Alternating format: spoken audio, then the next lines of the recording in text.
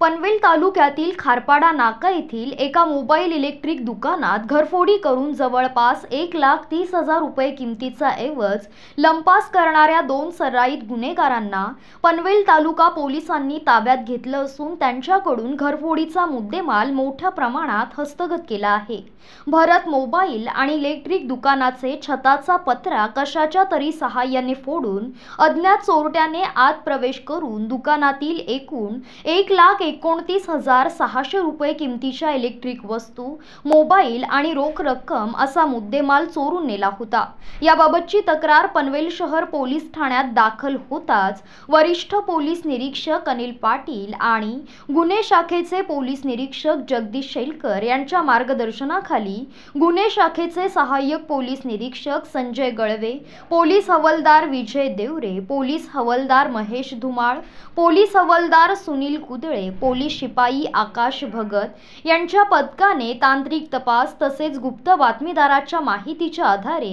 या गुन्ह्यातील आरोपी अदिल मजिबूर शेख आणि मुस्तकीम उमर फारुख शेख हे दोघे मुंब्रा परिसरात लपले असल्याची माहिती मिळाल्याने या पथकाने या ठिकाणी सापळा रचून दोन्ही आरोपींना ताब्यात घेत घरफोडीचा मुद्देमाल मोठ्या प्रमाणात हस्तगत केला आहे.